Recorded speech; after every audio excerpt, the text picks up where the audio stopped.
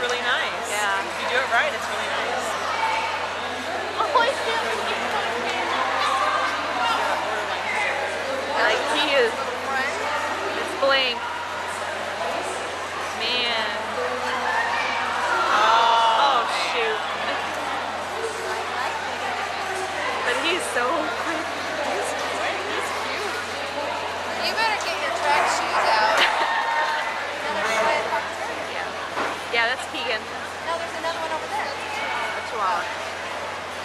Can't see through this. Okay, you guys tell me if he gets any fall.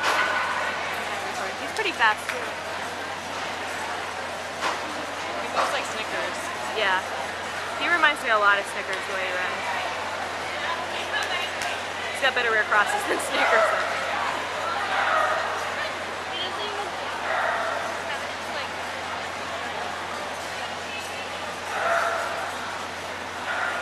They're clean so far, right? Yeah. Oh I'm like, I don't want to say anything because he's almost done. Yeah. Good boy, Keegan. Yeah!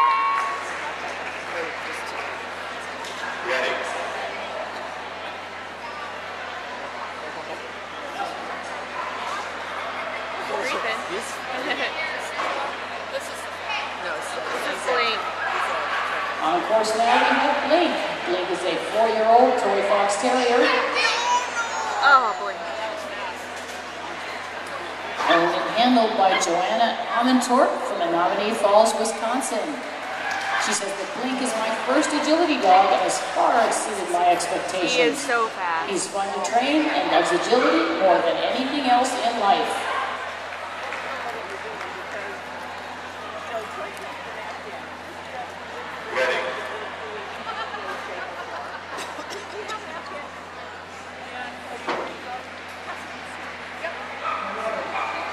On course now, this is Keegan, a five-year-old toy fox terrier owned and handled by Cheryl Dykeman from Council Bluffs, Iowa.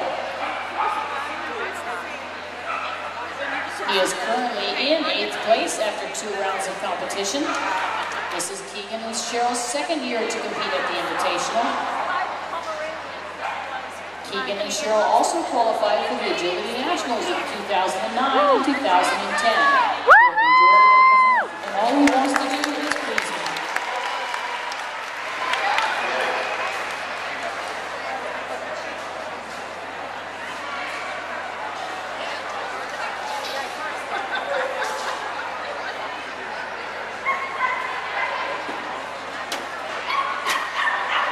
Oh, Blink.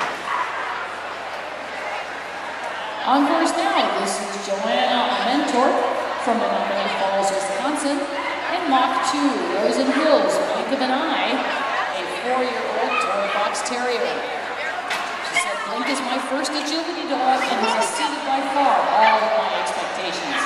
He is a hard worker and earned his first Mach well before his first third birthday, and has since gone on to earn a Mach 2 and a Mach 3 this year.